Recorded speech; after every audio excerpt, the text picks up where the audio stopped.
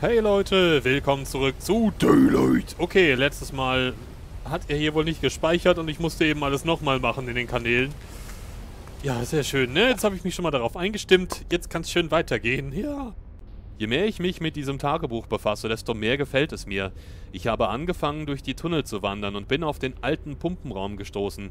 Ich habe gehört, dass sie das Abwasser auf der Insel hier behandeln wollen. Es zu Trinkwasser oder ähnlichem machen. Schätze, daraus ist wohl nie richtig was geworden. Egal, des einen Pech ist des anderen Glück. Jetzt habe ich dieses nette kleine Privatbüro in, mit einem Schreibtisch, das ich verwenden kann, wenn Mercer es nicht braucht. Es ist fast wie meine persönliche kleine Festung. Und wer war das eben schon wieder? Der Krähenmann? Nee. Das scheint noch nicht zu funktionieren. Ja, ja, das hatte ich letztes... Oh, Kinder, hört doch auf mit sowas! Oh. Ist das widerlich, wisst ihr was? Ja, aber dafür habe ich schön Zeug über, ne? Ich bin nämlich einfach nur durchgerannt die ganze Zeit. Ich glaube, zum Zugucken ist das wahrscheinlich eher langweilig, aber zum selber Spielen total super. Mercer hat mir gesagt, ich könnte nicht mehr in mein Büro kommen. Er sagte, es gäbe zu viel Arbeit für mich und ich könnte nicht ständig hierher kommen. Ich habe versucht, ihm zu erklären, dass ich diesen Ort brauche, dass er mir dabei hilft, mit dem Stress fertig zu werden. Wieso interessiert es ihn überhaupt? Ich kann nirgendwo sonst schreiben. Dies ist der einzige Ort, wo ich die wahren Dinge in meinem Kopf hören kann. Aha. Es ist komisch, hier unten bin ich nie allein. Es ist, als ob meine Mutter bei mir wäre, aber sie ist vor Jahren gestorben. Hier ist irgendwas und ich kann es nicht aufgeben. Ich glaube, ich gehöre hierher. Ja, wenn du meinst. Also ich wollte hier unten nichts... Wer ist das? Ist das vielleicht Sarah? Das ist eine sehr zierliche Person. Es könnte auch ein Mann...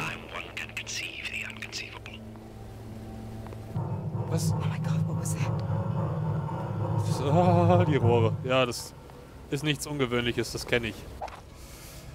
Ah, einer der neuen Wärter ist verschwunden. Wir gehen hier normalerweise nicht hinunter, aber Mercer hat uns aufgetragen, ihn zu finden, bevor er unsere Arbeit erschwert. Ich hoffe, dem Kerl geht es gut. Ist das der Wärter? Was hat's mit diesen Öfen auf sich? Die scheinen ja noch... War das ein Schiffshorn? So ein Nebelhorn? Also die Öfen scheinen ja noch befeuert zu werden. Irgendwas muss hier also sein. Irgendjemand muss hier sein vielleicht. Immer schön schütteln, Sarah, sonst geht das Ding wieder aus und wir sind alle traurig. Mid Island Hospital Instandhaltungsbericht. Datum 13. Oktober 1932. Mitarbeiter Adam Pearson. Gewartet, Stromversorgung zur Brücke wiederhergestellt. Nach dem schweren Regenfall vor kurzem haben wir die Brücke fast verloren. Nicht vergessen, wenn der Wasserpegel steigt, muss die Brücke geöffnet werden. Das ist der einzige Weg, um hier herauszukommen. Wenn die Stromzufuhr erneut ausfällt, muss sie wiederhergestellt werden, bevor die Brücke bedient werden kann. Alle Mitarbeiter im Pumpenraum müssen mit diesem Ablauf vertraut gemacht werden. Schließlich soll hier unten niemand festsitzen und die Fähre von der Insel verpassen. Ja, das wäre ja auch grausam. Oh, was? Ach, das sind Leuchtstäbe, das ist ja super. Oh, dieses Stück Stoff. Ich wieder anfalle, wenn ich das sehe. Okay. Wir haben ihn gefunden. Wir alle wussten, er war verärgert darüber, wie ihn einige der anderen Wärter behandelt haben. Aber die Docs haben uns gesagt, sein Tagebuch würde ihm helfen. Ich habe es gelesen und dachte, ich finde vielleicht einen Abschiedsbrief. Aber sein letzter Eintrag ergibt keinen Sinn. Ich habe den Inhalt zur besseren Übersicht her übertragen und wir werden ihn der Polizei übergeben, für den Fall, dass es sich um einen Code handelt. 13, 13, 13, 13. 13, 13, 13, 1,3 und so weiter. Und so weiter. Und so fort. Vielleicht ist es ja auch ein B. Und dann hat er die ganze Zeit geschrieben B, B, B, B, B. Und man weiß es nicht. Doc, ich habe getan, was Sie mir gesagt haben. Die Aufzeichnungen von Patientin 13 wurden zerstört. Und wir haben alles, was sie jemals ge was? getragen, verwendet oder gebastelt hat, im Heizofen in der Kanalisation verbrannt. Woher wussten Sie vom alten Heizofen unten in den Tunneln? Da unten scheint seit Jahrzehnten niemand mehr gewesen zu sein. Ich wette mit euch, wir sind Patientin Nummer 13. Ich hab's schon mal gesagt. Das sind wir, Leute. Bestimmt. Oh Gott, Leute. Ich glaube ehrlich gesagt, der Typ, der existiert gar nicht. Das ist unsere innere Stimme oder sowas. Ich habe da schon ganz interessante Vermutungen gelesen, dass wir vielleicht tot sind. Dass wir die Frau sind, die sich da umgebracht hat und uns quasi selbst heimsuchen oder sowas. So, kann ich jetzt vielleicht den Heizkessel oder so? Komm, ich schmeiß das Ding mal weg, das stört mich jetzt ein bisschen. Ich sehe hier gar nichts. Nee, ich kann jetzt wohl mit der Apparatur irgendwas machen, glaube ich. 10 Uhr, wer es glaubt. Diese hier, geht das jetzt? Tatsächlich. Ah.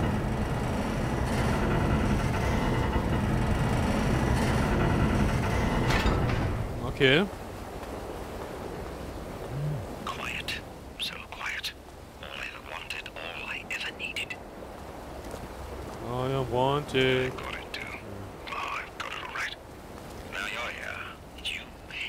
Me. Oh, dieser Typ, der macht mir Angst mit seinem... Oh Gott, ich sehe hier gar... Ah.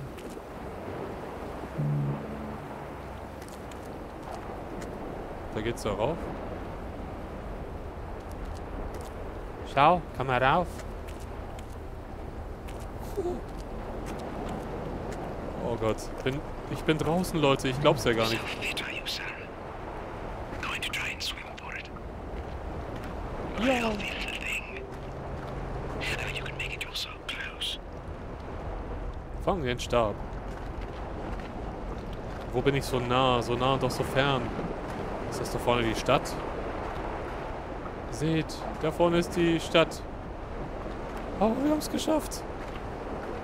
Und warum waren wir jetzt hier? Ich verstehe das immer noch nicht so ganz. Was war der Sinn dieser Reise? Na, vielleicht kommt ja bald das Ende. Oh Gott, oh Gott, oh Gott. Aber irgendwie ist es immer noch ziemlich anspannend, die Stimmung. So angespannt, nicht anspannend. Kann die, kann die Stimmung ja schlecht machen. Wenn, dann spanne ich mich an. Oder komme ich nicht mal rauf hier? Was ist das denn?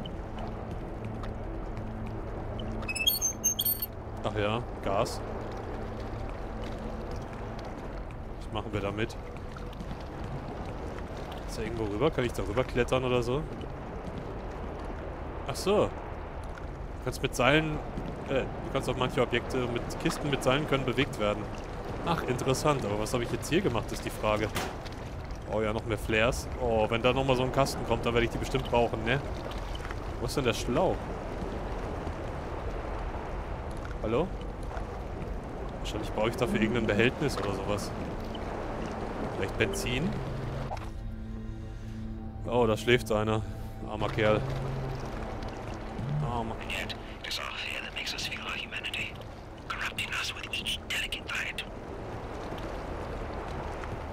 Mhm. Der Typ, der ist mir total suspekt mittlerweile.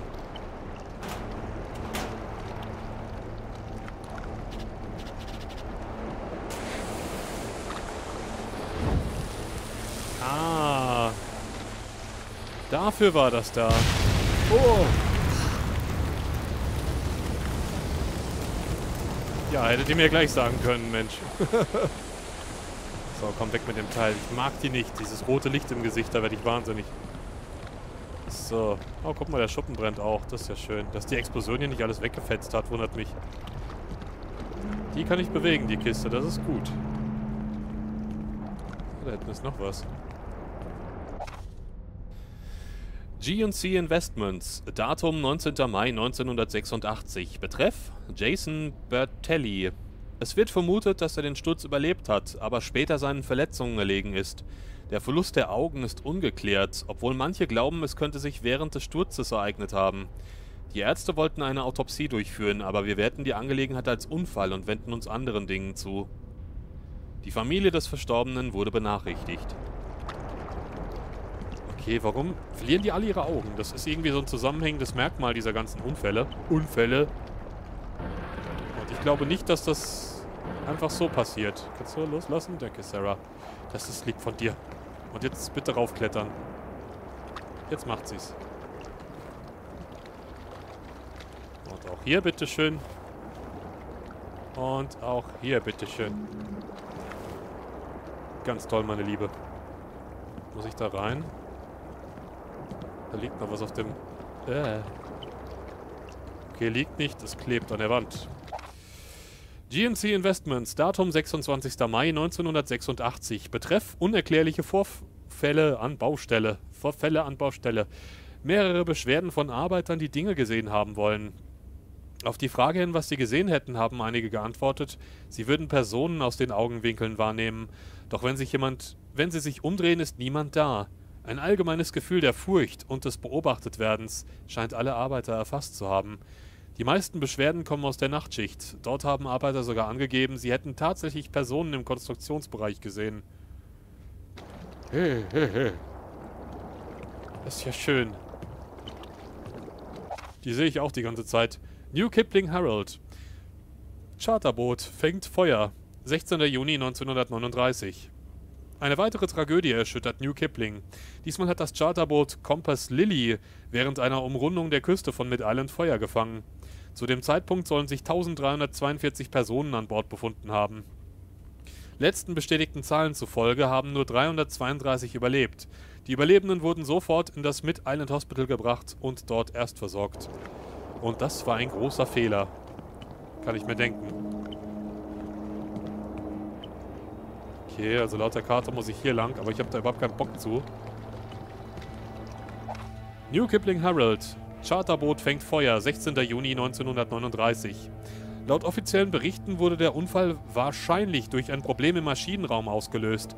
Außerdem hat man festgestellt, dass alle Sicherheitsprotokolle völlig unzureichend waren und es, mehreren, äh, und es mehren sich Gerüchte über den geistigen Zustand des Bootsmaschinisten.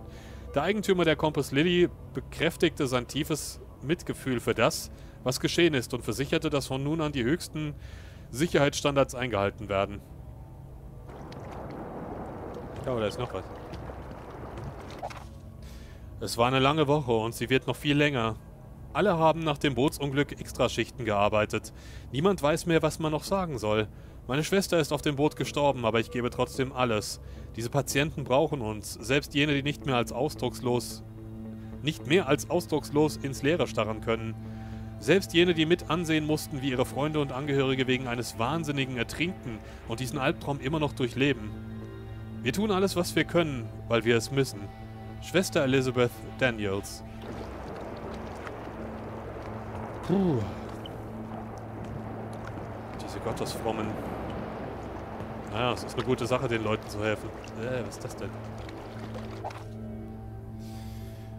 New Kipling Police Department Zwischenfallsbericht. Datum 7. März 1933. Wir halten ununterbrochen anonyme Meldungen von besorgten Leuten über Leichen, die ans Ufer gespült wurden. Diese Berichte werden meist von Zeugen begleitet, die angeben, dass die Verstorbenen Gefängniskleidung tragen, die mit der Anstalt auf Mid Island übereinstimmt. Aber jedes Mal, wenn wir an dem Ort des Geschehens eintreffen, sind die Leichen auf mysteriöse Weise verschwunden. Das Einzige, was uns erwartet, sind ein paar Krähen.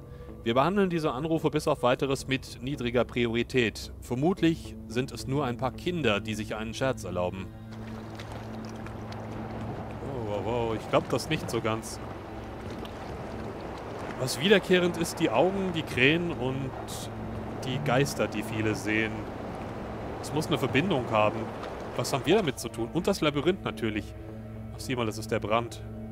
Ja. There's no escaping fate. Meinst du? Was für ein Schicksal, Mensch. Ich will es wissen, Sarah. Warum sagst du nichts? Ja, ich weiß, ich sage ja oft, sie soll die Klappe halten, aber nur wenn es wieder rumningelt, von wegen da vorne sehe ich was. To the edge of the miraculous. Ach ja, natürlich ist das hier wunderbar, ne? Das ist ein... Ah. Das ist ein gruseliger Wald mit... Das ist gruselig hier. Die greifen gleich nach mir. Da ist was in der Mitte des Waldes. Was ist das? Wie lange nehme ich jetzt eigentlich schon auf? Ich weiß es gar nicht. Komm. Ja. Jetzt wollte ich gerade mal die kurz die Uhr und dann... Nee.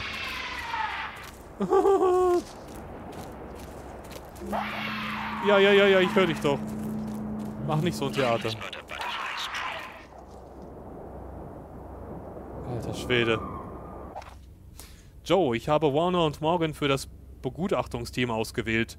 Sie werden mit der Pfahlramme den gelockerten Boden nach dem Test stabilisieren. Brian. Welchen Test und... Ah, es ist nur eine Eule.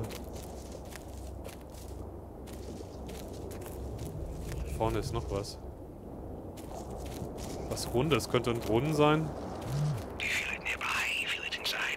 Die Schnauze jetzt. Die Schnauze jetzt bitte. Oh. Da ist noch was.